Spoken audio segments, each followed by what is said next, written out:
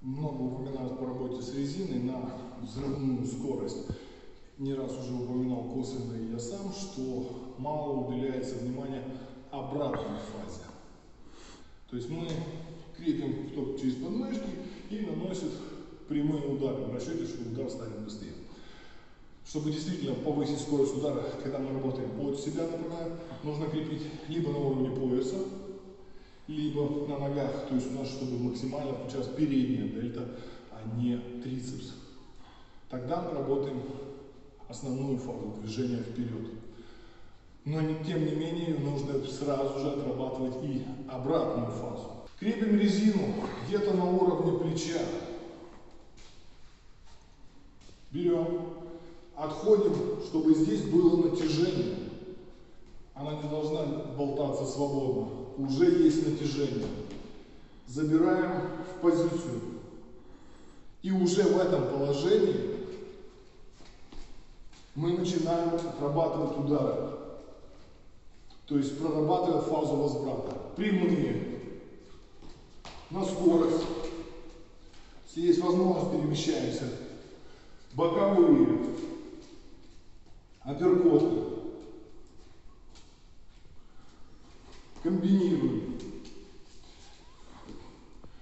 После чего работаем уже то же самое по воздуху или по цели. Это дает именно быстрый возврат руки, потому что вы можете быстро ударить туда и там завязнуть. Фазу возврата почти никто почему-то не отрабатывает. Ну, отрабатывает, но мало людей. Уделяйте этому внимание. Поэтому работаем раунд вперед, работаем раунд назад и только потом свободно. Если нет резины, это можно заменить легкими гантельками. Не стремитесь брать большой вес. Взяли гантельки, работаем, например, прямые удары.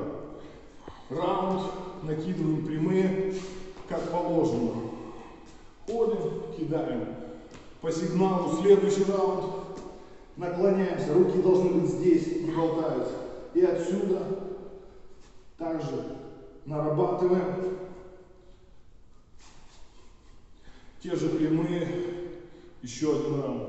После чего убираем нагрузку и работаем либо по воздуху, либо по цели. Напоминаю, вес не должен быть большой, но рука должна возвращаться полностью в необходимое положение.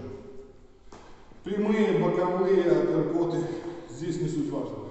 Сначала можно разделить, потом это все комбинировать. Этот же вариант нам подойдет при отработке техники зацепов, которые мы выполняем либо пустой рукой, либо с ножом. То же самое мы выбрали и зацеп, зацеп во всех направлениях. То есть акцент у нас и вся нагрузка идет на возвратное действие, чтобы впоследствии взяли тот же нож, и у нас взрывное действие было направлено на возврат. Ищите, пробуйте.